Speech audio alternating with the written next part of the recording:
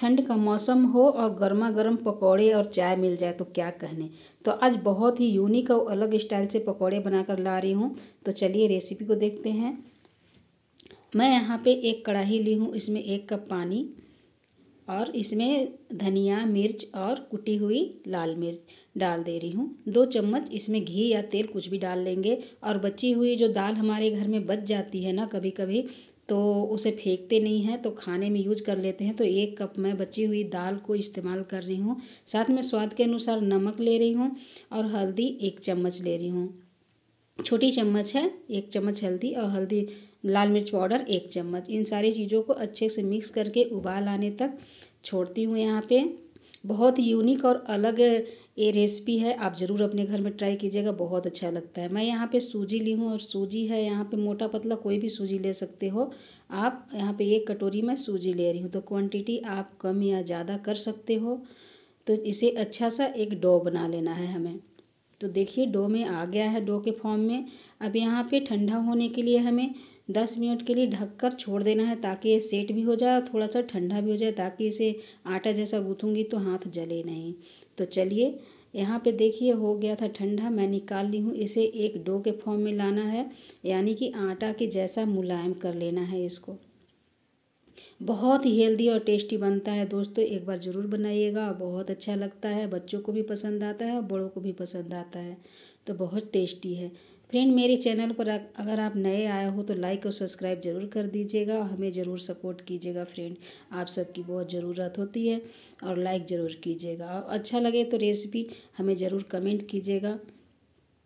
तो इस तरह से देखिए, मसाला मैं पहले से बनाकर आलू का रख ली थी। जैसे आलू का फिलिंग बनाएँगे ना तो आप पनीर का फिलिंग या किसी और चीज़ का फिलिंग भी बना सकते हैं। मैं आलू का फिलिंग पहले से बना ली थी और छोटा डो लेकर इसमें डालकर अच्छे से फिल करके इसको बंद कर दे रही हूँ। सूजी का जो डो है।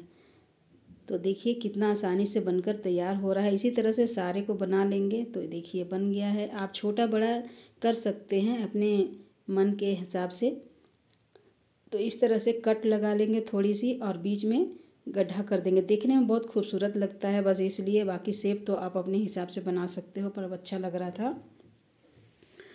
तो इस तरह से बनाकर देखिए, रख लेंगे। बहुत ही अच्छा बहुत ही अच्छा लग रहा है ना। तो चलिए, इसी तरह से मैं सारे को तैयार कर ले रही हूँ।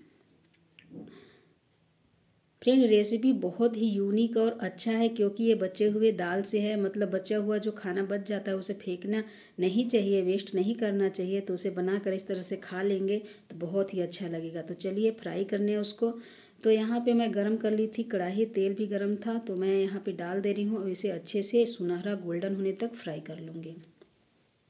फ्रेंड्स, शाम का नाश्ता हो या सुबह का नाश्ता हो या लंच या टिफ़िन टिफ़िन बच्चों को देना हो, बहुत ही अच्छे से बन जाता है, आसानी से, और बच्चे बहुत चाव से खाते हैं। बच्चे का मनपसंद डिश है ये।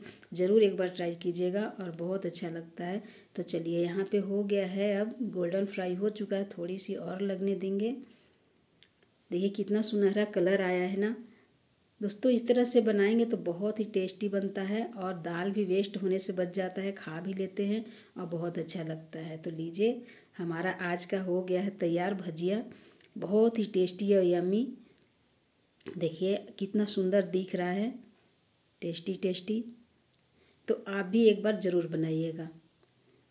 देखिए, मैं दिखा रही हूँ आपको। एक बार ज़रूर खाकर इंजॉय कीजिएगा। तो लीजिए, मैं निकाल ले रही हूँ इसे अच्छे से प्लेट में।